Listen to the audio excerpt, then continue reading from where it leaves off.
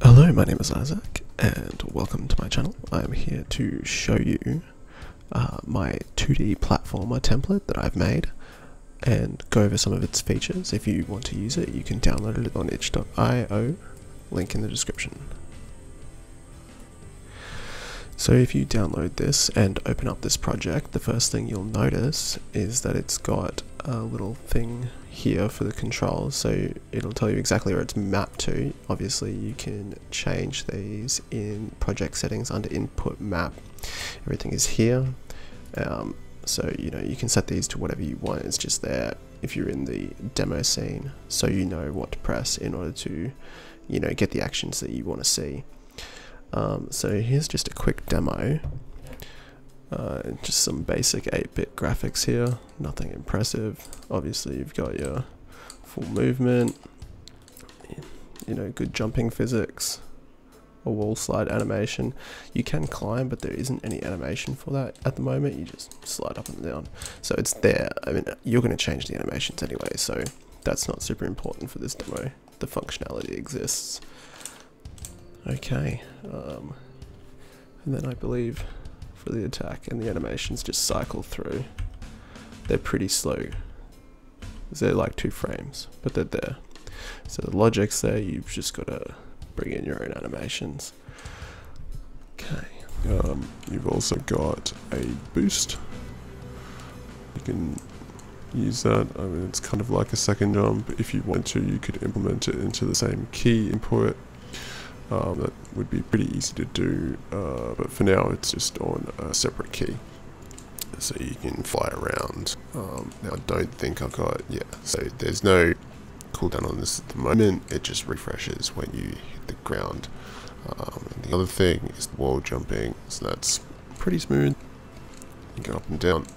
It's set up, it's it depends on the game that you play, but uh, some games will let you just scale a wall uh, without actually having to uh, find another one.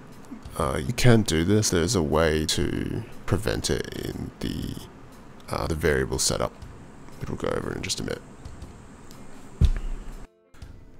Okay, so if you were to bring this into your own project and try to use it, you imagine you're just going to grab, you know, all of this stuff, um, but the actual uh, scene that you want to import is under player character.tscn. Um, so you can just drop that in and he's got everything. Um, and so you just click on him. You've got a bunch of variables here that you can just change. Uh, if you want the character to be able to jump, dash, uh, climb the walls, slide on the walls, attack. If you want the dodge to have a cooldown, it's there by default. It resets when you land. Um, the jump height, obviously, if you increase this, you're going to be super, super high jumping, as you can see. And I think the default variables, you actually move pretty quickly, so you can lower that down if you want. So you've got uh, your acceleration, obviously that's the, the speed, or the you know units that you get to reach this max speed. Um, your friction, so that's how fast you slow down. You've got your dodge speed. Obviously, if you increase that, you're going to go pretty far when you use the dodge. Um, the cooldown, if you've got it, the wall jump speed. Now, this is an interesting variable. So, uh, by default, when you jump off a wall, that's still really high. Okay, let's turn that down. The default is five. Does that feel good? Yeah, that feels alright.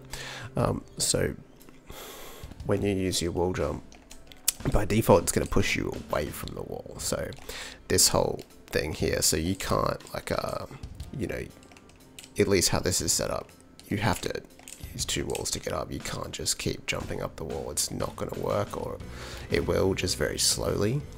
Um, and if you want to prevent that entirely, all you have to do is really just increase this wall jump speed because that's the, the amount that you're actually getting pushed away from the wall and directional input is disabled when you jump off the wall so you're going to get pushed away um, and you're not going to be able to push back in so that wall jump speed is going to influence how far away you're getting actually pushed from the wall uh, so the further the unit the less likely the player is going to be able to jump up the wall just with one wall and that's just going to depend on how you're designing the game So, say for example, we wanted to make this something like 5, the default is 1.3, but we're going to make it 5. It's going to be actually insane.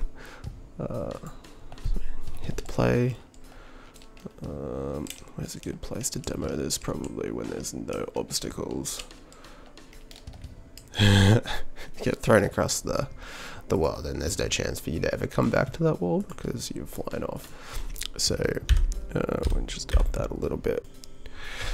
So when you're jumping, there's a minimum velocity that you need to meet uh, before you start falling. Now it's set to zero, but you can make this anything you want.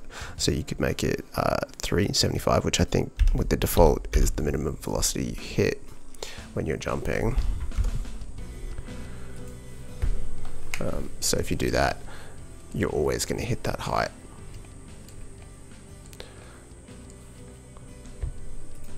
Um, and you can make it anywhere in between. Let's make it negative 100 so you still get a bit. You can't just release the key.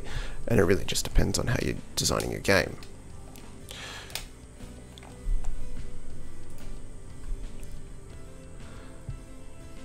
And the last is wall climb speed, which is pretty self-explanatory. Um, obviously, you don't, well, you wouldn't normally design a game where you climb as fast as you actually move. So that's just the velocity that you're moving up and down the walls.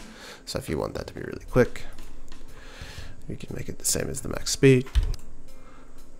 Just fly up those walls.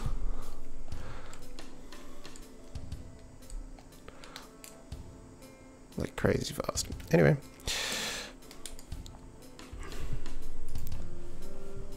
There you go. So it's pretty easy to use. Um, it's not perfect, I'll give you that. Uh, if you've got anything you want me to add, or if you have any pointers on how to improve the code, uh, you're welcome to let me know in the comments down below. Um, I will be making improvements to this as time goes on. I'm working on a 3D platform at the moment, but um, after that's done, I might come back to this. Uh, and that's it. Okay, guys, that's it from me. Thanks for watching. Uh, if you have anything to, you know, point out or things that I can improve on in this video, let me know. It's my first one. Um, I'm looking to do more on any kind of development that I do for these templates or any kind of games that I'm making. Um, yeah, that's it. Thanks for watching. I'll see you next time.